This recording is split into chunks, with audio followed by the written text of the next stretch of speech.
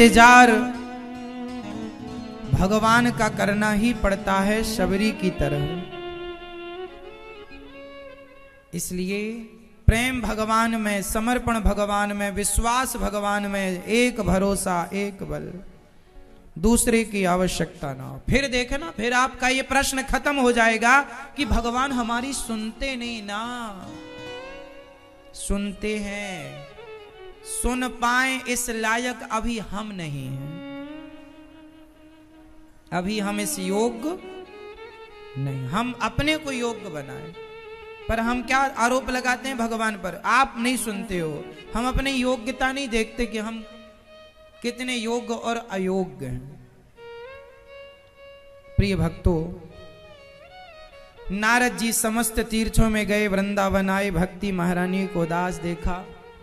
भागवत सनकादियों के माध्यम से भक्ति ज्ञान वैराग्य को सुनवाई गई।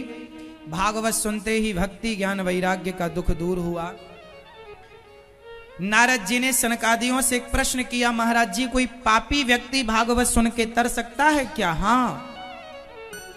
एक पापी का नाम है धुंधकारी। धुंधकारी नाम का एक व्यक्ति है। पिता का नाम आत्मदेव जी, माँ का नाम धुंधली। आत्मदेव जी के कोई संतान नहीं थी तो संत जी ने एक फल दिया, वो फल पत्नी को खिलाया, पत्नी ने गाय को खिला दिया। गाय को पुत्र हो गया गौकर्ण जी और धुंधकारी, धुंधली की बहन का बेटा पैसों में खरीद लिया, वही बना धुंधकारी। धुंधकारी बड़ा होके अपने पिता पर अत्याचार। देखिए, जीवन में जितना दुख है, वो मिलकर रहेगा। आपका बेटा कितना भी अच्छा हो, आपकी पत्नी कितनी भी अच्छी हो, या बेटा कितना भी बुरा, बेटे, पत्नी कितनी भी बुरी, पति कितना अच्छा कितना बुरा, जितना दुख आपके जीवन में आपका प्रारब्ध है, जो भाग्य में आपको दुख या सुख मिला है, उतना आपको उठाना पड़ेगा, हँसते उठाओ या रोते उठाओ। इसलिए जीवन में जब दुख आए तो समझना चाहिए कि पाप समाप्त हो रहे हैं और जीवन में सुख आए तो समझ लो कि पुण्य समाप्त हो रहे हैं। कट रहे हैं, या तो पाप कट रहा है, या तो पुण्य कट रहा है। क्योंकि पाप और पुण्य का मिक्सअप ही ये शरीर है। कुत्ते का शरीर पाप पुण्य से नहीं बना केवल पाप से बना है। गधा, सुअर, हाथी, घोड़ा का शरीर केवल पाप से बना है। वो पाप योनि है। लेकिन मनुष्य का शरीर पाप पुण्य दोनों के मटेरियल से बना है। दोनों पदार्थ से बना है। जिसमें पाप भी भोगना है और पुण्य भी। आप लोग जो जीवन में परेशान दुखी होते हैं, शरीर का दुख, परिवार का दुख, पत्नी का दुख, पत्नी अच्छी नहीं, पति अच्छा नहीं, बेटी अच्छी नहीं, बेटा अच्छा नहीं। ये सारा दुख केवल आपके पाप का ही परिणाम है। और जो सुख है, वो आपके पुण्य का।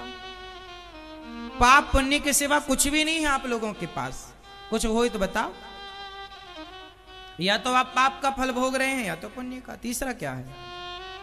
अब तीसरा करने का मौका मिला है, अब जो पाप पुण्य से परे है। बताओ, पाप पुण्य से श्रेष्ठ क्या है? ज़ोर से ज़ोर से ज़ोर से। पाप और पुण्य से बड़ा है, भगवान के चरणों में शरणागति हे। प्रभु, मैं आपका हूँ। समर्पण हो जाना, ये बड़ा है। जब आप भगवान के चरणों में समर्पित हो गए तो फिर आप भगवान के हो गए। और जो भगवान का हो गया, मनसा वाचा कर्मणा। देखो, होना अलग है।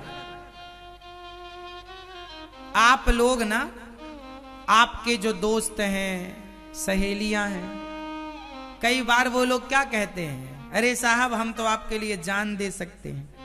वो क्या कहते हैं? हम तो आपके हैं, पर ज़रूरत पड़ने पर कोई फ़ोन तक नहीं उठाता। ऐसे देखो, कहने को तो कोई भी कह दे कि हम आपके हैं। ऐसे ही आप लोग भगवान से क्या कह देते? हैं प्रभु, हम आपके हैं। ऐसे कहने से ना होगा। समर्पण का मतलब ये नहीं कि कह दिया ना, मन से, वाणी से, कर्म से कह दिया तो हो गए। भगवान के वैसे ही हो जाओ, जैसे आप पत्नी, पति की हो गई, पति, पत्नी के हो गया। ऐसे हो जाओ